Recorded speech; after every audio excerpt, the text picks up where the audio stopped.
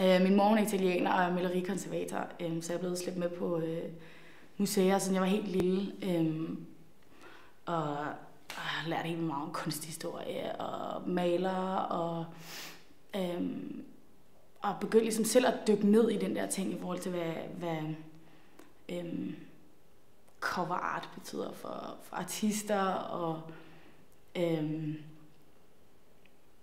for, af forskellige malere og så videre. Jeg tror, det, det er en, en ting, som, som tidligt gjorde indtryk på mig. Farver, og hvordan farver spiller ind i forhold til musik for eksempel. Jeg ser helt vildt meget farver og bevægelser, når jeg synger for eksempel, og når jeg skal skrive melodi. Øhm, øh, og jeg tror, jeg, da jeg opdagede Frida Kahlo, øh, og så den, for eksempel den film, der er lavet om hende, der hedder Frida, øh, der er så mange farver, og der er så meget... Øh, hvad skal man sige, det der foregik i samfundet på det tidspunkt i hendes liv, er så tydeligt i hendes, i hendes øhm, malerier, og, øhm,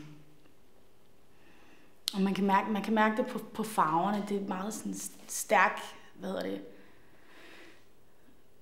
stærkt visuelt. Øhm, og jeg tror, det, øhm, jeg ved ikke, om det nødvendigvis er noget, man kan se i det, jeg laver. Men det er helt klart noget, jeg tænker sindssygt meget over. Jeg tror måske, det kommer lidt mere til altså man kan se det mere på den måde, jeg måske klæder mig på, og den måde, jeg enten er overhovedet ikke har noget makeup på, og er helt, hvad skal man sige, drengepige, der er ligeglad med, hvordan jeg ser ud, til at have helt vildt meget makeup på, og have blomster i håret, og gå med farverigt tøj. Øhm. Og øh, så jeg tror, at det, altså det visuelle, det, det spiller sindssygt meget ind, altså, men, men måske mere underbevidst i, øhm, i den musikalske proces, fordi det er... Øhm, jeg ved jeg tror, det er noget, der kommer. Det, det er sådan en todelt proces på en eller anden måde. Jeg tror, øhm, lige nu, øh, som, som, som kvinde og som pige i den her branche, øhm, der er det, altså, det er noget, vi er, nødt, vi er nødt til at være helt vildt opmærksomme på, fordi det er bare så stor en del af at være kvinde i den her branche, ikke? at være øhm, bevidst omkring sit udseende. Enten at være bevidst ligeglad, eller bevidst, helt vildt bevidst, at være meget stylet og meget, øh, hvad skal man sige, stilistisk bevidst. Øhm, men øhm, jeg tror, Alicia Keys er simpelthen en, jeg har, har set så meget op til i så mange år. Både fordi jeg synes, hun er hun var, så, hun var sådan en nyt frisk pus, da hun kom frem helt i starten, og jeg synes, hun har, har den samme nu. Hun ligesom formået at genopfinde sig selv på en eller anden måde, fordi hun var, hun var den der øh, drengepige fra Brooklyn i, i, i, hvad skal man sige, start 2000, hvor det var virkelig sådan diva-domineret, ikke? Med langt hår og mega meget makeup og mega stylet, og hun kom bare i sin jeans og så så Brooklyn-agtig ud, og det var, og hun var altså gudesmuk, men, men cool samtidig en af drengene, og det, altså jeg så helt meget af mig selv i det, og det tror jeg, jeg har trukket helt vildt meget fra. Altså det har helt klart været en af de mere bevidste ting hos mig, sådan, hvad skal man sige, den måde jeg klæder mig på, at det er okay at være, have noget makeup på, men så også have nogle sneaks på, eller have en stor hætte, tror jeg. øhm, og jeg synes, det er det samme, hun formår at gøre nu. Og ligesom der er sådan en ny bølge, der er kommet for, for kvinder i, i popmusik, som både hende og øhm, Alicia Cara også har altså styre for vildt. Det der med bare at møde op totalt intet makeup og own den for sindssygt, og have stort, flot, krøllet hår og være skide feminin og smukke alligevel. Øhm, og altså, det tror jeg helt klart er noget, jeg har, har taget sindssygt meget ind. Øhm, og øhm, ja, altså, den der, og det der med at spille på to, altså det, det kvindelige og det, det feminine, men ikke nødvendigvis mm, den klassiske form for skønhed. Samtidig med, at altså, jeg er også et helt vildt sådan, kontrastfyldt menneske, tror jeg, fordi jeg tror, at det er også en del af at være pige og kvinde, tror jeg, i, i musik og generelt i livet. Det der med at, at, at kunne spille på øh, det helt vildt feminine og være meget sådan damet.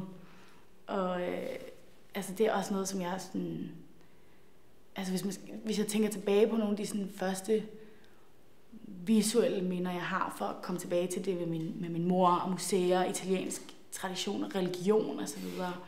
Der, jeg har for eksempel øh, min... Åh, oh, nu ødelægger jeg totalt med mikrofonen, gør jeg ikke? Er det okay? Øh, jeg har for eksempel den her øh, Santa Maria halskæde, som jeg altid går med. Og det er ikke af religiøse årsager, det er fordi, at jeg synes, at det er ret smukt, hvordan man i hvordan katolikker øhm, tilbeder kvinden, og den der meget sådan klassisk, det er meget klassisk, det er moren, og det er, øhm, sådan, det er lidt uskyldige, og kontra, hvis man vender tilbage til Alicia Keys ting, den der mere sådan hårde gadepige, som, som godt kan have et par jeans på, men stadig være feminin og kvindelig og, og smuk uden sindssygt meget makeup. Øh, jeg har helt klart haft en... Øh, jeg var total fan af, af sådan 50'er, 60'er rock og sangskrivning.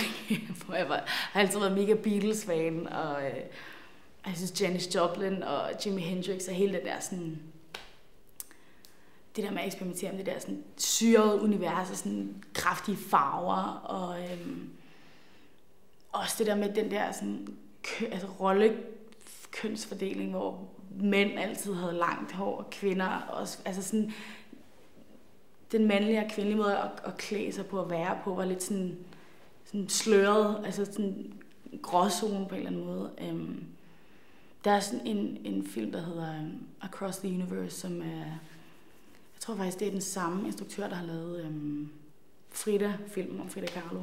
Um, som er, jeg ved ikke, hvordan man skal forklare det, det er en øhm, musical, tror jeg, man godt kan kalde det, men det er ikke rigtig musical, fordi det er ikke folk, der bryder ud i sang og står på en elbetop hele tiden. Det er, det er helt klart, øh, der er en historie, men, men alle karaktererne i filmen tager udgangspunkt i personer eller navne, som er fra Beatles-sangen, eller øhm, musikere eller kunstnere, som var vigtige i 60'erne i, i den periode. For eksempel øhm, Janis Joplin og Jimi Hendrix og John Lennon og øhm, alle de vigtige mennesker fra, fra kunst i den periode. Øhm, så der er, der er helt klart eksperimenteret med sådan noget med, hvad skal man sige, langt ulet hår og store runde John Lennon briller og mere øh, ja, skjorter og jeg har også haft en periode, hvor jeg havde helt kort hår og gik meget sådan mandetøj, og folk troede, jeg var lesbisk. øh, tror jeg bare sådan prøvede at lege lidt med sådan, igen den der ting med sådan, at være, at være pige, hvordan man kan sådan, måske skubbe grænserne lidt for, altså det kan godt være, at jeg ser måske mere maskulin ud, fordi jeg har skjorte og jakke på og kort hår og briller, men jeg er stadig en, en kvinde og en pige. Øhm, så jeg altså, eksperimenteret helt meget med mit hår. Jeg har klippet det, jeg har farvet det, og jeg har haft store, mærkelige runde briller på, og været total Motown-fase igennem også med øh, igen den der sådan 60'er-stil. Øhm, så ja, jeg har været alle mulige mærkelige steder hen. Både musikalsk og også med min, mit udseende.